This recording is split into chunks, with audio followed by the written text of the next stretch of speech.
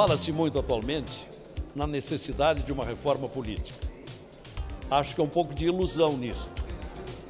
A política em si, a administração, a arte e a ciência da administração pública, a política é boa. O que não é bom são os maus políticos. A criminalização destes e não da política. Agora, já que queremos fazer uma reforma política, nada de lista fechada nas proporcionais, porque a lista fechada esconde maus políticos que querem fugir da justiça comum ou da justiça eleitoral. E, além do mais, exalta o caciquismo político eleitoral.